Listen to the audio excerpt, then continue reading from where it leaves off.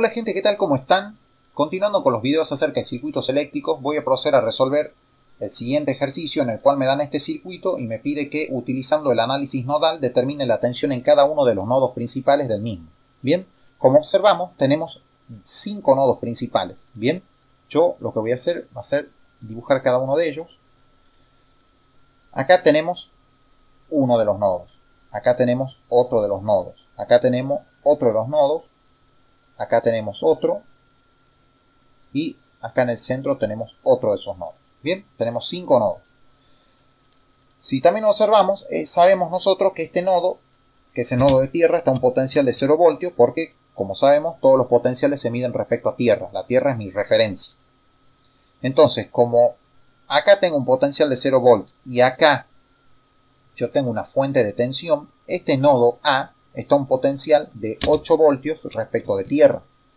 Con lo cual, con lo cual, nosotros ya de antemano conocemos dos o las tensiones de dos de los cinco nodos. Bien, entonces nuestro problema se reduce en determinar la tensión B sub B, B sub C y B sub D. Es decir, la tensión en estos tres nodos nada más.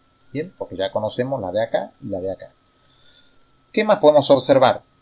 Que este circuito dispone obviamente de dos fuentes independientes, una fuente de tensión y una fuente de corriente, y una fuente dependiente. Esta es una fuente de corriente controlada por corriente, es decir, está siendo controlada por la corriente I sub X. Bien, ¿qué es lo que vamos a hacer ahora? Vamos a asignar un sentido de circulación para cada una de las ramas del circuito.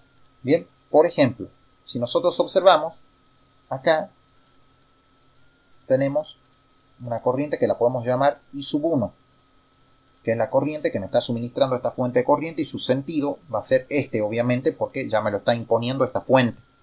Bien, acá, por ejemplo, tengo la corriente I sub 2,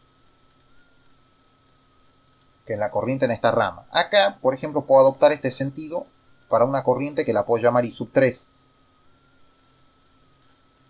Acá puedo adoptar este otro sentido para una corriente que la puedo llamar, por ejemplo, I sub 4. Acá, este sentido yo ya no lo adopto, esto ya está impuesto por esta fuente de corriente. Tengo una corriente, dijimos que era dos veces la corriente I sub X. Bien. Acá tengo, en este sentido, por ejemplo, puedo adoptar ese sentido para una corriente I sub 5. Y acá puedo adoptar este otro sentido para una corriente I sub 6. Bien. Bueno, tenemos eso. Acá en esta rama ya tenemos esta IX que me la está dando el propio enunciado. Bueno. Entonces, nosotros sabemos ya de antemano que la tensión B sub A, la tensión B sub A son 8 voltios. 8 voltios. Y además, otro de los datos es que la corriente que suministra esta fuente de corriente son 20 mA. Yo la llamé I1, entonces I1 es igual a 20 mA. Bien. I sub 1 igual a 20 mA, que serían 0.02 A. Bien. Perfecto. ¿Qué es lo que sigue ahora? Bueno, para cada uno de los nodos que tenemos, vamos a encontrar una ecuación que relacione a cada una de las corrientes empleando la ley de Kirchhoff de corriente. Bien. Por ejemplo, en este nodo de acá, nosotros observamos, para este nodo A, que las corrientes que ingresan al nodo son la IX y la I2, y la que sale es la I3. Entonces, I3 es igual a I2 más IX. I3 es igual a I sub 2 más I sub X. Acá está I sub X. Bien. ¿Qué más? Por ejemplo, para el nodo B, nosotros observamos que ingresan tres corrientes, I1, I3 y la corriente 2 I sub X, y sale la corriente I sub 4. Entonces, I sub 4 es igual a I1 más I3 más 2 I sub X. I4 es igual a I1 más I3 más 2 veces I sub X. ¿Bien? ¿Qué más? Si observamos este nodo C, vemos que ingresa I4 y salen I5 e I6. Entonces, I4 es igual a I5 más I6. Bien, I4 es igual a I5 más I6. Y si observamos este nodo de arriba, el nodo D, vemos que ingresa la corriente I sub 6 y sale la IX y la I1. Entonces I6 es igual a I1 más IX. I6, acá está, I6 es igual a I1 más IX. Bien, perfecto, ya tenemos esas ecuaciones. Ahora vamos a proceder a analizar o a encontrar una ecuación para cada una de estas corrientes. Bien, para cada una de estas corrientes. Bien, por ejemplo, comencemos acá con IX. La corriente IX circula en esta rama, por la rama del resistor de 50 ohm, y va desde el nodo D hasta el nodo A. Entonces, I sub X es igual a BD menos BA sobre 50 ohm. Bien, entonces, IX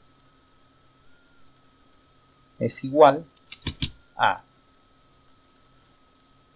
BD menos BA sobre 50. Perfecto. Bien. Pero, ¿qué más sabemos nosotros? ¿Qué sabemos nosotros de acá? Que la B sub A vale ¿cuánto? 8 voltios. Entonces, tenemos eso. Bien. Vamos con la corriente, a ver, con la I sub 3. La I sub 3 es, es la que circula por este resistor de 100 ohm. Este resistor está siendo sometido a una diferencia de potencial BA menos BB. Entonces la I sub 3 es igual a BA menos BB sobre 100. Bien. I sub 3 va a ser igual. Yo voy a hacer esto. Voy a copiar y pegar. Y acá voy a cambiar los nombres nada más. BA menos BB sobre 100. Pero, ¿qué conocemos nosotros? ¿Qué sabemos? De nuevo, que BA vale 8 voltios. Entonces, esto queda así. Bien, sigamos por ejemplo con la corriente I sub 4. La I sub 4 circula por este resistor. Este resistor está siendo sometido a una diferencia potencial B sub B menos B sub C. Entonces I4 es igual a BB menos BC dividido ese valor de ahí. I4, I4 está acá. I4 es igual, de nuevo, a B sub B menos B sub C dividido eso. Bien. Luego, la corriente I5 circula por este resistor de 20 ohm este resistor está siendo sometido a una diferencia de potencial BC menos 0 voltios, es decir, BC. Entonces, I5 es igual a BC sobre 20. I5 es igual a qué cosa? A B sub C sobre 20. Bien.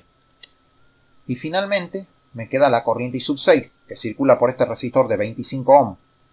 Entonces, y 6 va a ser igual a BC menos BD sobre 25. Y 6 va a ser igual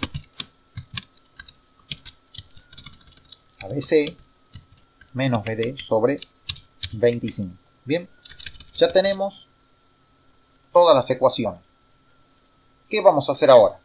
Por ejemplo, podemos tomar esta ecuación de acá, yo lo voy a copiar y pegar, y vamos a hacer lo siguiente vamos a reemplazar a cada una de las corrientes por su ecuación o por lo que valga.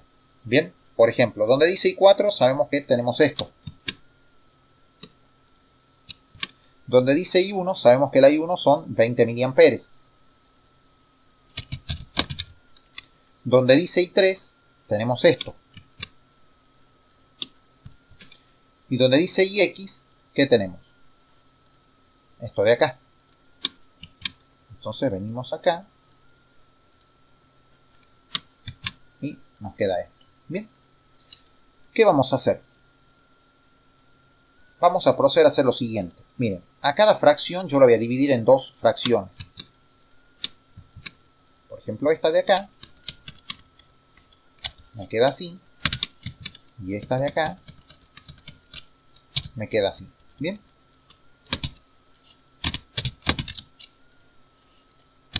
Bueno. acá voy a hacer lo mismo.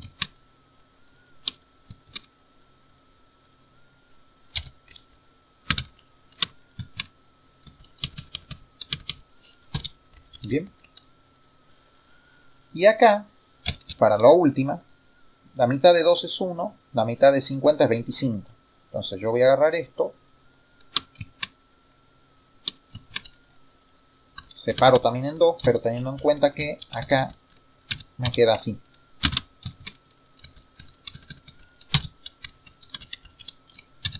Bien, perfecto.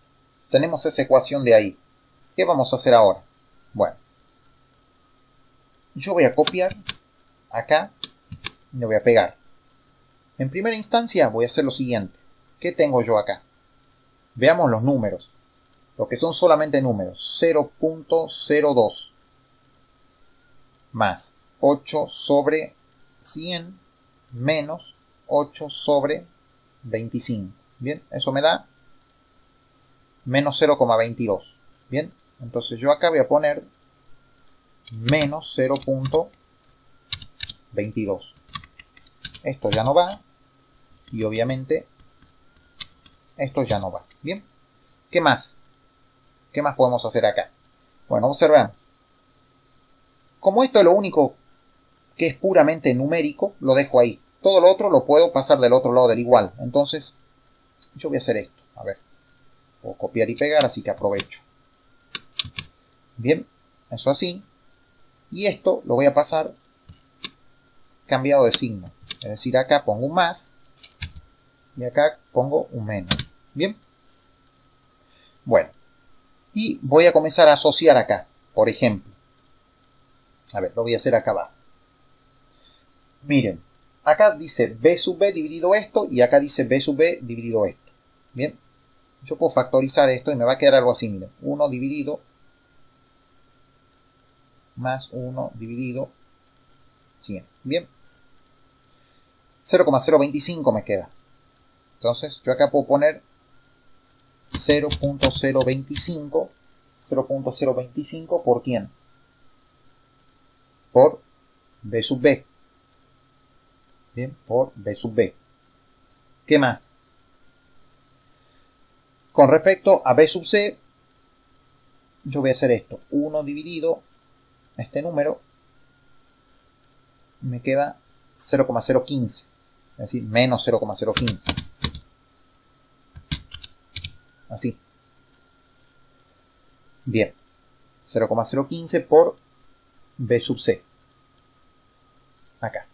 Bien, y con respecto a B sub D me va a quedar menos 1 dividido 25. Eh, Entonces, 1 dividido 25 me da 0.04.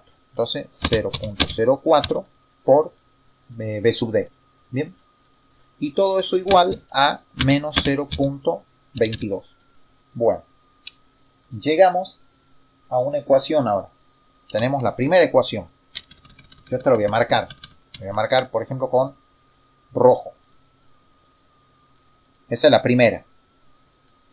Para analizar la segunda, para encontrar, mejor dicho, la segunda, podemos tomar, por ejemplo, esto de acá, esta otra ecuación. Y de nuevo, donde dice I4, ponemos esto. Donde dice I sub 5, ponemos esto. Y donde dice I sub 6, ponemos esto. Bien. Como siempre, va a haber que separar en dos fracciones acá.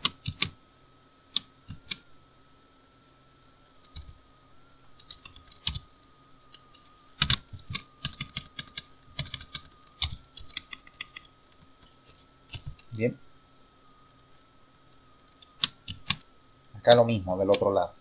Entonces,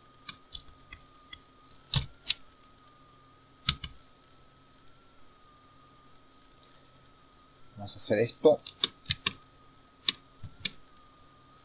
Y finalmente llegamos a eso. Bien, todo eso obviamente hay que hacer ahora. Eh, separar, va no separar, sino que agrupar, por ejemplo. ¿Yo qué tengo? A ver, yo voy a hacer lo siguiente. Esto implica que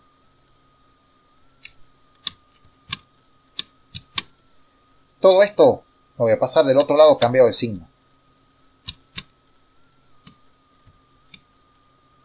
Bien, cambiado de signo. ¿Qué significa? ¿Qué significa? Que por ejemplo acá va a quedar menos, acá va a quedar menos y acá va a quedar más. Bien. Menos, menos, más. Bueno. Y todo eso va a ser igualado a cero. Bien. Igualado a cero. Perfecto. Entonces, acá yo voy a agrupar, por ejemplo, todo lo que tenga B sub C. Porque la B sub B, ven que está solita. Entonces, ¿yo qué puedo hacer acá? De nuevo, 1 dividido este número. Y eso me da 0,015. 0.015 por B sub B. Menos. Y yo voy a hacer esto, miren. A ver, voy a ubicar acá la máquina para que se vea. Miren, yo voy a hacer... Acá tengo menos, menos, menos, los tres así. ¿Bien? Bueno, yo puedo sacar factor común menos b sub c y me va a quedar de 1 dividido este número más 1 dividido 20 más 1 dividido 25. ¿Bien? Y eso me da 0,105. Entonces ponemos 0.105. 0.105 ¿qué? Eh, B sub C. ¿Bien? Y finalmente me queda más 1 sobre 25 1 dividido 25, que es 0,04, por B sub D.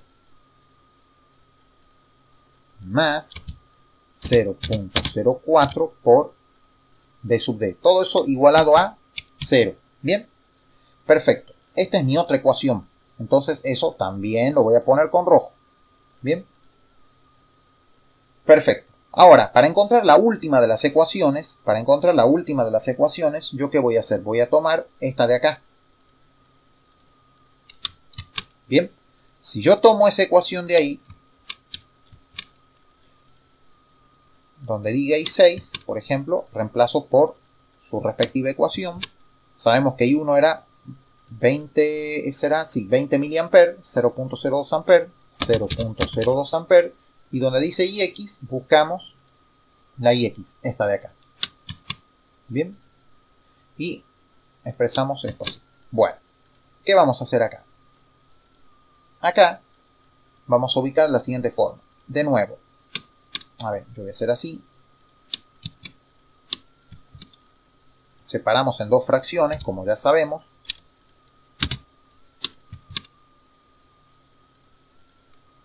Y esto queda así. Bien.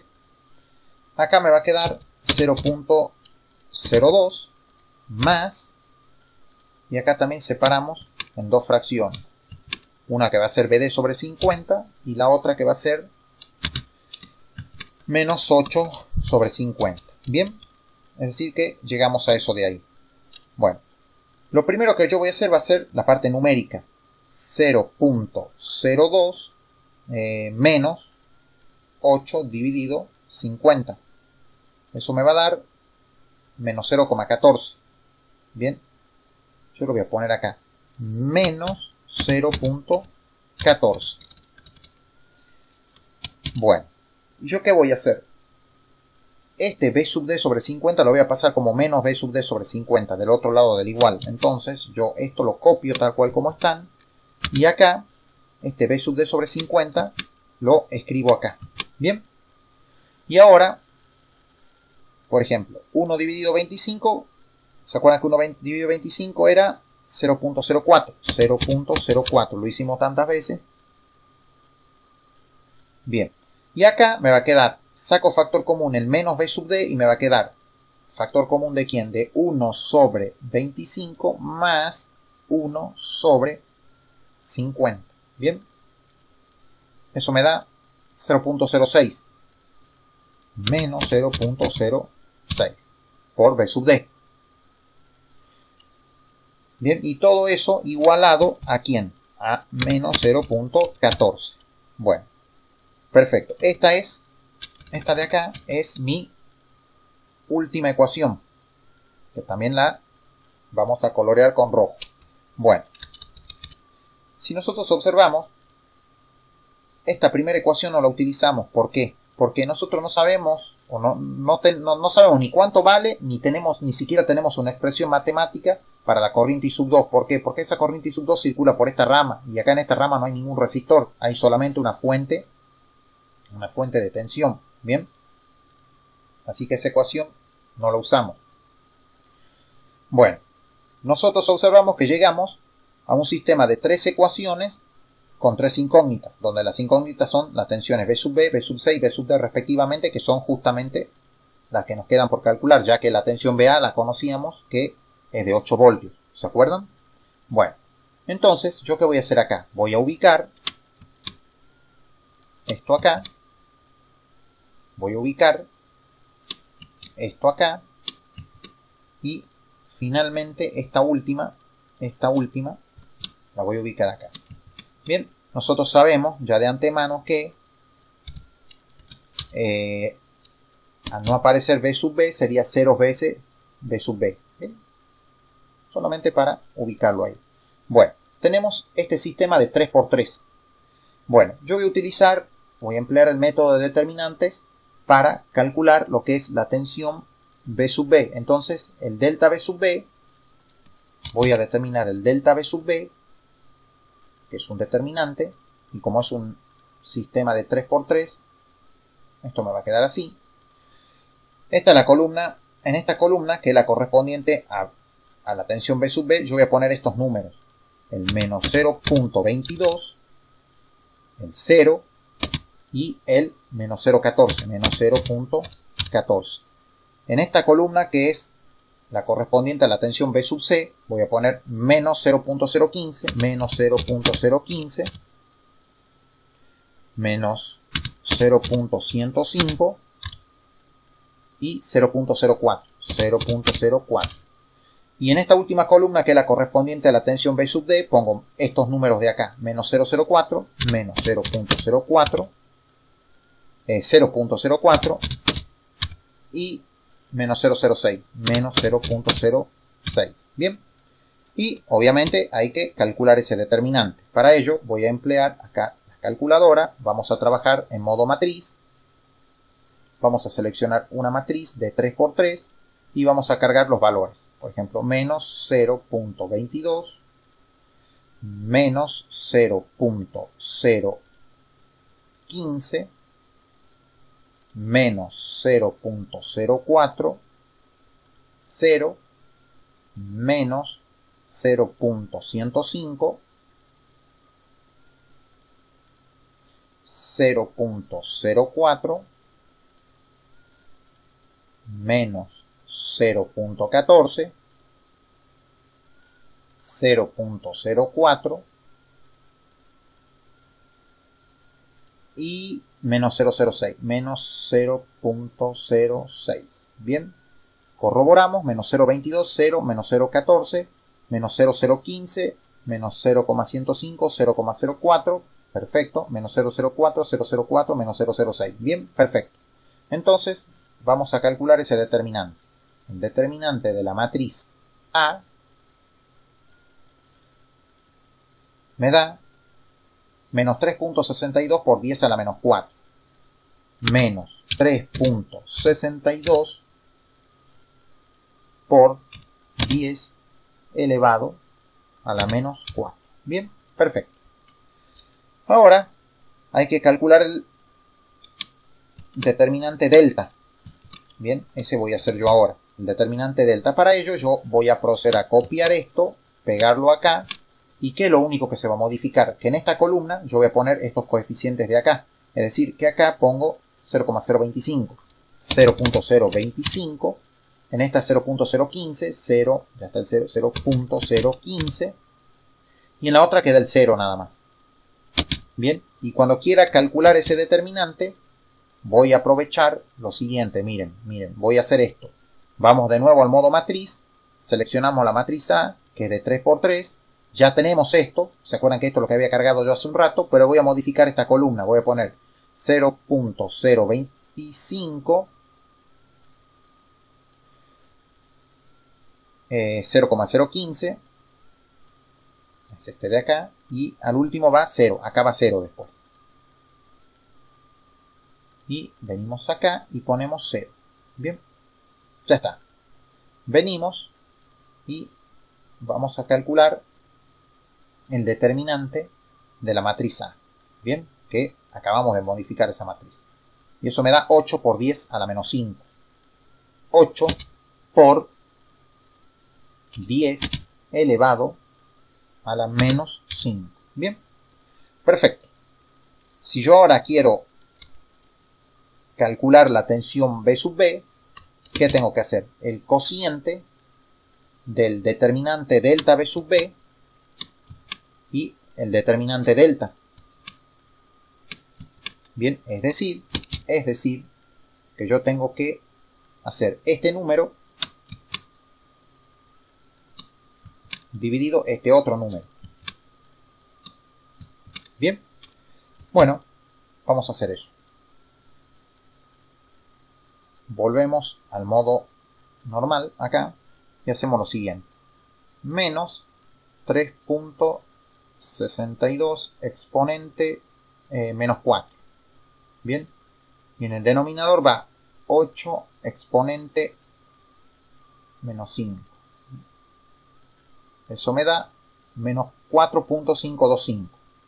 Menos 4.525 voltios. Bien, eso lo voy a poner yo en azul para ir distinguiendo ya las cosas que nos van dando, los resultados, porque esto ya es un resultado. Bien, si yo ahora necesito determinar, ya tengo la B sub B, necesito determinar la B sub C y la B sub D.